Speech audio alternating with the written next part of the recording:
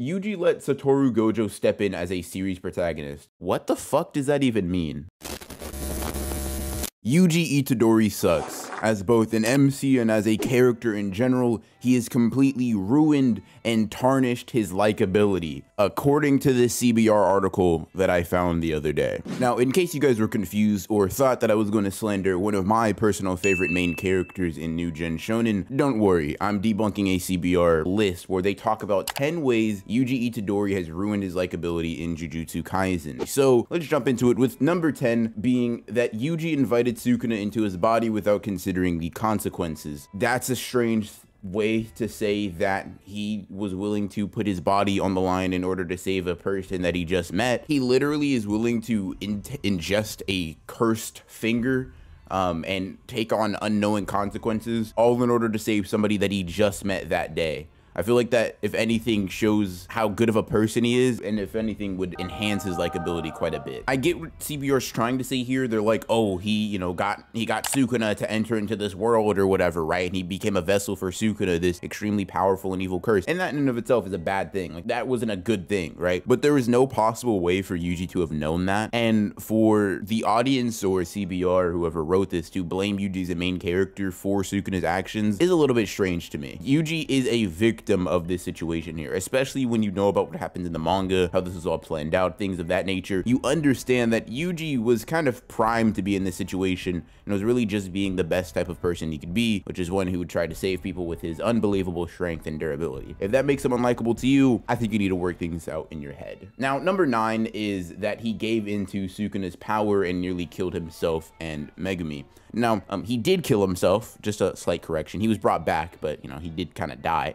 Uh, in any case, he gave into Sukuna's power so, like, Megumi and him and Nobara wouldn't die. Like, there was really no winning that situation, right? They were thrust into a battle that they had no right being in, right? With Yuji being a sorcerer for no longer than like a month, Megumi not being able to handle a special grade, and Nobara not being able to handle a special grade, what did you want Yuji to do in that situation, right? The only person who could have possibly changed the tides of that battle without outside help or without Sukuna could have been Megumi, but even he didn't understand his full potential at the time and had no idea like how limitless almost the skill and power that he had with his 10 shadows curse technique. If Yuji didn't do that, Megumi, Nobara, and him all would have died anyway, as the special grade curse would have either killed Megumi and him on the spot, or it would have just, you know, like obliterated Yuji and left Megumi out. And, you know, it, it, there was no winning that situation, right? I don't understand how Yuji doing his best to get rid of the curse was the worst case scenario. He, he also was under the assumption that if he let Sukuna loose, he'd be able to take control of him after he he's done with whatever he's doing, right? In fact, he had a reason to assume that he would be able to control Sukuna as before he was able to release him and control him at a moment's notice. In any case, don't really see all this ruins his likability. Um, it was either die to the special grade or almost die to Sukuna, and I'm pretty sure it was more beneficial to almost die to Sukuna. In any case, number eight, Yuji kept his resurrection a secret from his friends. Completely idiotic, dumb. It didn't. It was literally physically impossible for Yuji to not have kept this from his friends, right? It, it was there was just no way. Sukuna literally put in the binding vow, then in exchange for reviving Yuji's body, Yuji would literally forget about the binding vow. So, I mean, that's just part of the Jujutsu Kaisen power system. If you don't like it, take it up with Cursed Energy and Binding Vows and Sukuna. Not Yuji, once again, the victim of being manipulated by Sukuna. In any case, number seven, he played in Gojo Satoru's disrespectful resurrection gag. Who is it disrespectful towards? I don't know about you guys, the audience watching this video, but I always perceived it as just like a comedic thing where Yuji and Gojo are both kind of tone deaf and didn't understand how much he mattered to his friends. And that's why Nobara and Megumi were kind of like, dude, what are you doing? It, it was never really played off to be super disrespectful because Yuji was the one that's dead right? Like if Yuji were to prop up somebody else's corpse and be like surprise or whatever, maybe I can understand your argument. But Yuji was the dead one here, right? Nobody knew he was alive, so he came out in a little fashion that Gojo, his teacher, manipulated him into doing anyways. It's played off as a very comedic gag, and you guys are kind of really stretching by saying it was really disrespectful. In any case, number six, Yuji played directly into Aoi Todo's toxically masculine hand. Okay, that's interesting. Okay. So their argument here is very strange. They're basically like Todo beats people up for not having good taste in women. Therefore, since Yuji had good taste in women, Yuji bad, which is kind of strange because Todo's whole, you know, what's your what's your type? First of all, isn't toxically masculine because he really, he, he, his whole thing is that he wants to see if you're an interesting person or not. He doesn't truly care if you like the same type of person he does. In fact, when he says it to Megumi, right, the only reason he runs up and just, just punches him in his fucking dome is because Megumi can't give a real straightforward answer. He's just like anybody that's good, right? Todo's like, yeah, dude, I don't care if it's a woman or a guy. Like, just like, what's your type, right? It, it don't doesn't really matter, which is kind of funny because he just assumed Megumi was gay. But anyways, he was just like, yeah, what's your type? And Megumi was like, man, as long as they're a good person, I'm chilling, right? It do not matter if your booty fat. You know where I'm at.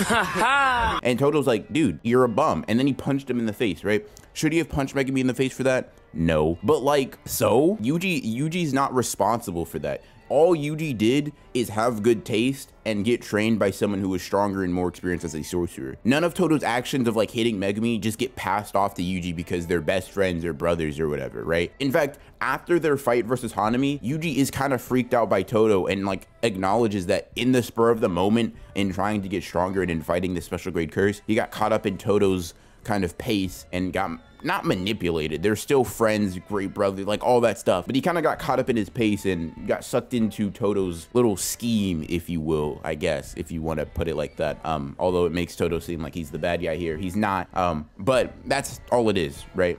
Simple as that. It's not really this toxically masculine hand that Yuji played directly into. Um, so that's a little bit weird and a complete misinterpretation of the source material. In any case, number five, Itadori killed Choso's younger brothers um, okay. They were attacking him and his allies. What, like, what, what, what did you, what did you want him to do there, right? What, like, what did you want Yuji to do? Just get his ass beat, get bullied, die. Like they were in a situation on that final episode where if they didn't win the fight, him and Nobara were gonna die. W would you rather him let Nobara and himself die? That doesn't make any sense. If the main character doing main character things makes him unlikable to you, maybe you shouldn't consume like anime or manga because like Yuji fighting the quote unquote bad guys and, and going against characters that are literally trying to harm his allies, I mean, there's really nothing different that you could expect him to do. And Yuji even feels extremely bad about doing it after the fight, right? He he's very remorseful that he killed someone that wasn't a curse or exorcised or attempted to exorcise something that wasn't a curse. And it clearly weighed pretty heavily on his conscience. Like Yuji doesn't just take lives of like human-like beings very easily or willy-nilly, right? He's a very conscientious person about those types of things as we see throughout the entire series, right? And honestly, I just find it a little weird that the main character doing main character things ruins his likability for you. In any case, number four, Yuji let Satoru Gojo step in as a series protagonist. What the fuck does that even mean? No, seriously, like, I'm gonna read this, but I want you guys to, to, to ask yourself, what does that even mean? Gojo is the strongest character in the verse. I don't want to hear any could be stronger. Shut up. He's stated to be the strongest and the power ceiling of the verse so far. No feats, no statements, nothing has contradicted that thus far. And I say not the strongest, like he can lift the most, he can beat everybody in the verse, like in a one on one or something like that, right? That's the purpose. Gojo is the strongest. Yuji is a newbie sorcerer. How do you expect him to not let Gojo kind of take the spotlight sometimes, right? I mean, and how does that ruin his likability? If anything, if anything, that just makes Gojo more likable than Yuji. Now, whether or not you think that, I don't really care. They're both great characters in terms of both likability, in terms of cool factor, in terms of depth in writing. They all have a lot of things to them that I think make them pretty cool. If you like Gojo more, dope. If you like Yuji more, dope. But like to expect or desire an up and coming character who has talent, yes, to surpass the literal pinnacle of the Jujutsu Kaisen universe is a little strange. And I feel like that's a problem with your expectations rather than what the anime or manga is doing, which is kind of how the last six numbers, the six uh, likability ruining things have been. But let's move on to number three. Yuji continuously failed to defeat the special grade curse Mahito. Now, I mean, like, I am really confused how this ruins likability. He got his ass beat. like, like, okay, I honestly don't understand this one, like, genuinely right? Because they say, while it is difficult to blame Yuji for Mahito's actions, by the time the Shibuya incident arc took place, Yuji had failed to exorcise Mahito on multiple occasions. How does that make him unlikable, right? I don't get it. I don't understand. Mahito is strong. He's a special grade curse for a reason, right? He's like one of the fastest evolving characters in the series, one of the highest potential characters in the series. A, a, a special grade curse that even Nanami couldn't exorcise. And in fact was like, damn, even when he's in his like incubated form, I can't take him. I could only imagine how strong he'll be as he evolves. Yuji keeps fighting him as he evolves. And guess what? At the end of the day, who's the one who beat the breaks off that bitch Mahito? Yuji. Yuji did it. Yuji's the one who got the dub in the end. Kenjaku came in, ruined the fun. Yeah, but Yuji did defeat Mahito in the end. So even if your whole thing was, oh, Yuji didn't defeat the big bad, he did. Kenjaku just swooped in and stole the kill. Anyways, number two, he lost to Yuta Okkotsu in a 1v1 battle.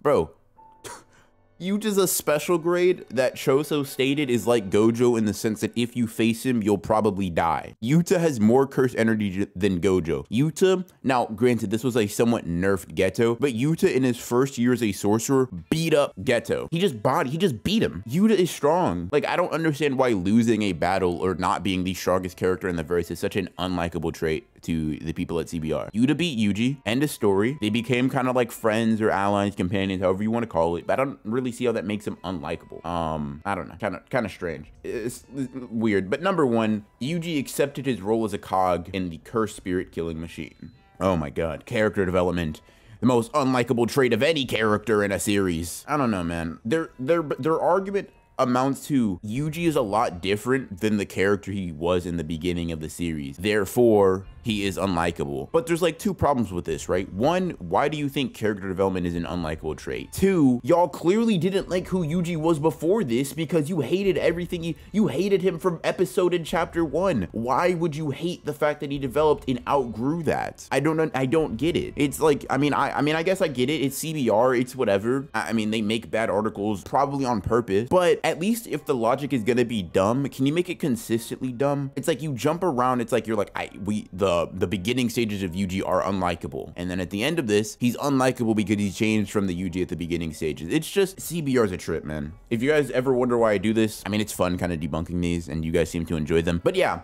that's it for the CBR list. If you guys did enjoy, you know, like, comment, subscribe. If you guys have other CBR lists like this or want me to check them out, I will be making sure to do more, kind of spread them out over time. In any case, I hope you guys enjoyed this video. And as always, this is Broken Ronin signing off.